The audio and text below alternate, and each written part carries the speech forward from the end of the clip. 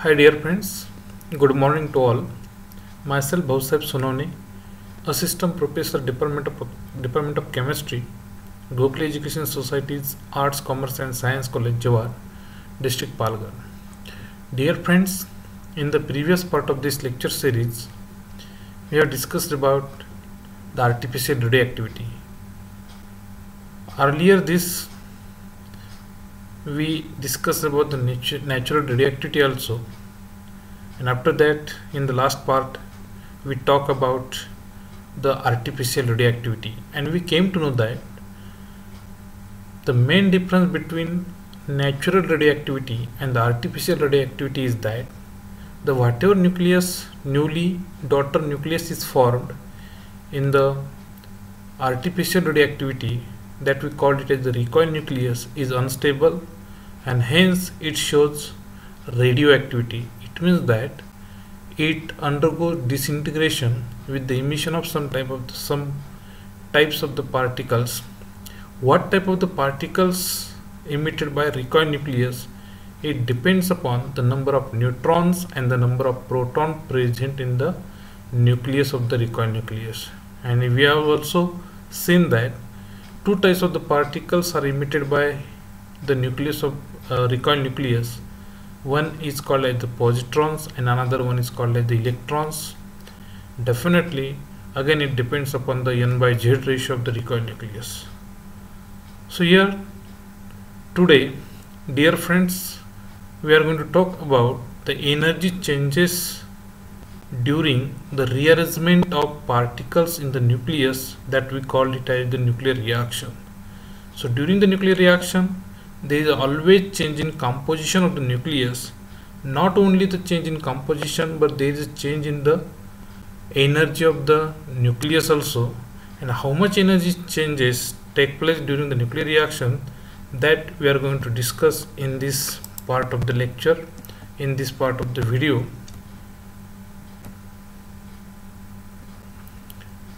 The amount of energy either liberated or absorbed during the nuclear reaction is described in terms of value and that value is called as the Q value of nuclear reaction.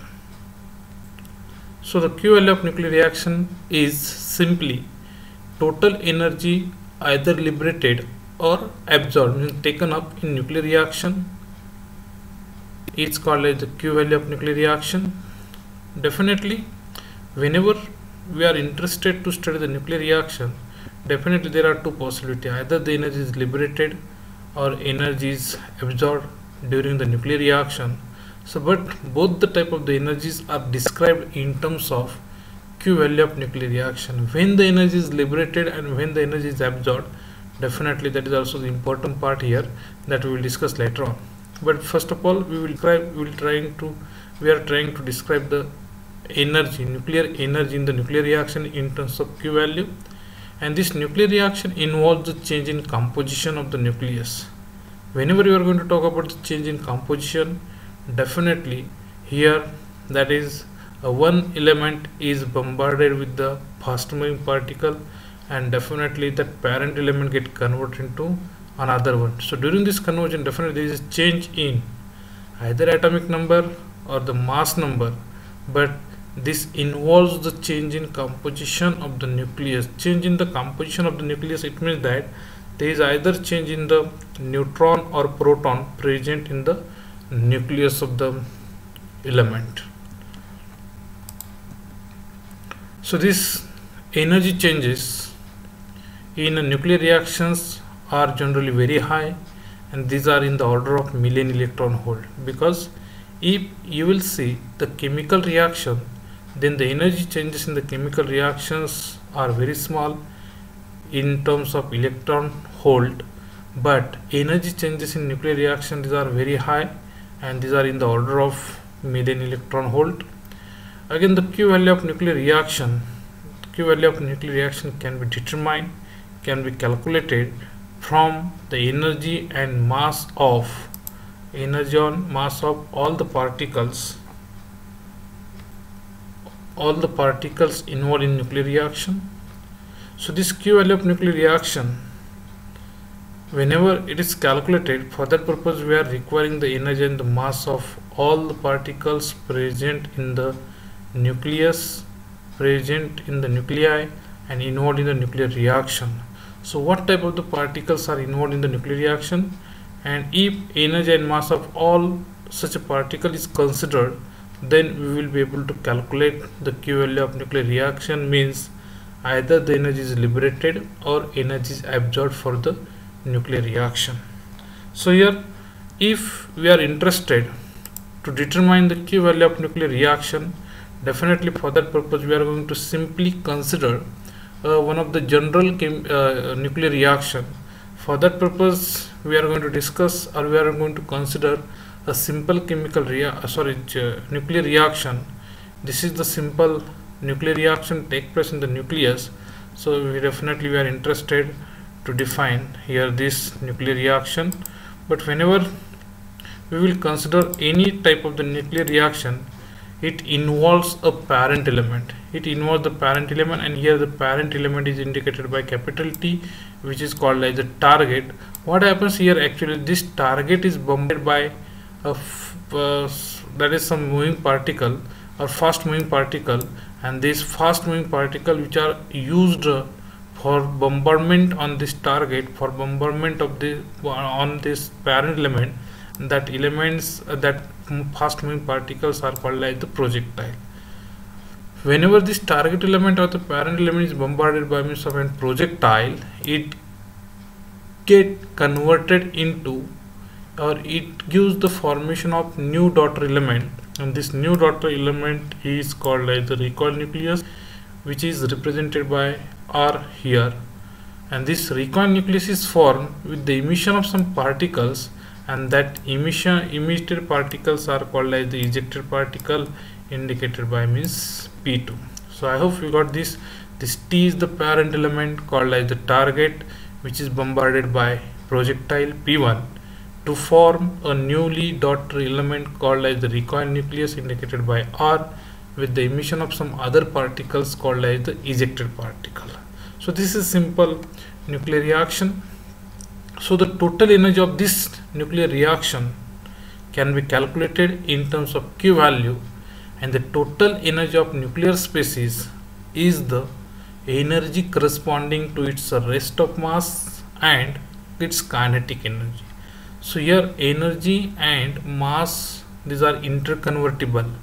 But according to the conservation of mass the total mass and energy of any particle always remains constant. So this is the important thing here. So here whenever you want to consider the total energy of any particle then its total energy can be considered can be calculated in the form of its mass as well as kinetic energy.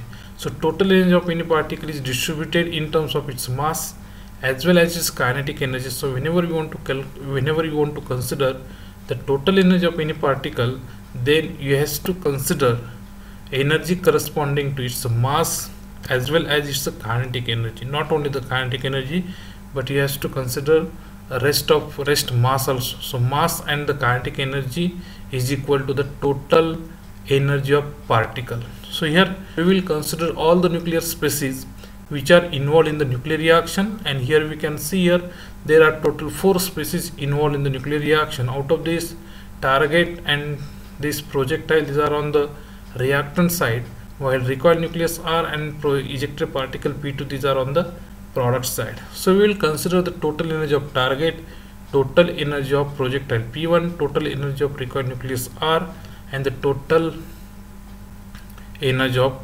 ejected particle P2. First of all, we will consider about the target. So target is the steady species which is bombarded by projectile P1 and as the target is steady it means that its a kinetic energy zero. It's a kinetic energy zero. It is not the moving particle. That's why. That's why the total energy of target will be equal to what will be equal to its rest mass or it will be equal to its only the mass and that's why the total similarly the total energy of projectile projectile is the fast moving particle it means that it has some value of kinetic energy and definitely it will also having some mass and that's why the total energy of projectile will be equal to its mass m suffix p1 plus kinetic energy e suffix p1 so this is the total energy of projectile and the total energy of target will be mt m suffix t. So i hope you will consider because its kinetic energy value of et will be zero as it is stationary it is steady. That's why it's a kinetic energy or the value of kinetic energy will be zero. Again if we will consider the next species that is newly formed daughter element that we call it as the recoil nucleus again the total energy of recoil nucleus will be equal to the energy corresponding to its mass as well as kinetic energy. So therefore the total energy will be m suffix mar, ma, m suffix r plus e suffix r. And next particle which is ejected particle again it will also having total energy corresponding to its mass as well as its kinetic energy. So this is very simple here to consider the total energy of projectile and this is the total energy of recoil nucleus. So as per the principle of conservation of energy it means that the total energy of reactants will be equal to the total energy of product in terms of mass as well as kinetic energy. So here I have considered the total energy of these reactants total energy of reactants. Here you know this target and projectile nucleus these are the reactants and total energy of recoil nucleus and the ejected particle. These are nothing but the same. So this is the total energy of target. This is the total energy of, of projectile. This is the total energy of what? Recoil nucleus and it is the total energy of ejected particles. Now what i'm going to consider? I'm going to consider the terms of mass on one side and terms of energy on another side another side. So this is mt plus mp1 on this side minus mr minus e, uh, mp2 so minus in the bracket mr plus mp2 and I will transfer this EP1 on this side. So definitely energy of recoil nucleus plus the energy of project ejected particle minus energy of projectile. But this term energy of recoil nucleus and the energy of ejected particle minus energy of projectile. It is simply just like the energy of product minus energy of reactant. And this energy difference between the energy of product side minus energy of reactant side this energy difference is called as the q value. This energy difference between the product and the reactant is called as the q value.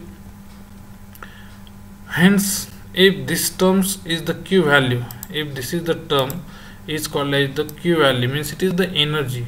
So we can write this equation this equation in terms of what mt plus mv because this is a total mass. This is what this is that is this is this is the total this is the terms corresponding to mass. So it is simply m okay? And is equal to is equal to what?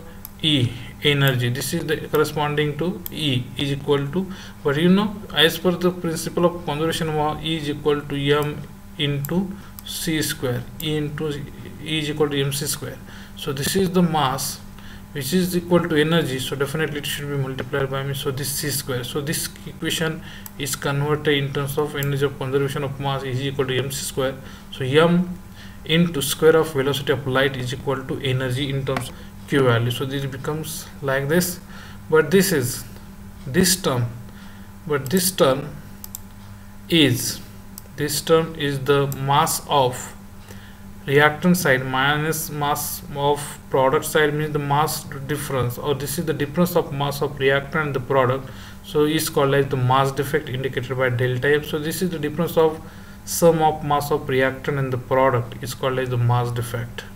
And this therefore this is instead of this we can write the delta m and simply we are getting q is equal to delta m. So delta m can be calculated here and once delta m is calculated from here we will be able to calculate the value of q by multiplying 931 because whatever delta m is calculated here it is having unit of atomic mass unit and if we want to convert it into million electron volt then we have to multiply by 931 so this is the q value of nuclear reaction. Here delta m is the difference between the mass of difference between the mass of what? Reactant and the product. So here this is the simple equation that we can consider here. And based upon the q value of nuclear reaction based upon the q value of nuclear reaction we will be able to define whether the q value of nuclear uh, whether the energy is liberated or the energy is absorbed and dear friends we will discuss about the significance of q value of nuclear reaction in the next part of the video. So in that we will discuss about the q value uh, the significance of q value of nuclear reaction. And we can also discuss about the some numericals based upon the q value how we can calculate the actually the q value of nuclear reaction. So here we will discuss about this so we will discuss about the significance of q value in the next part of the video. Which I'm there to discuss its applications in numericals. Consider a simple nuclear reaction. Thank you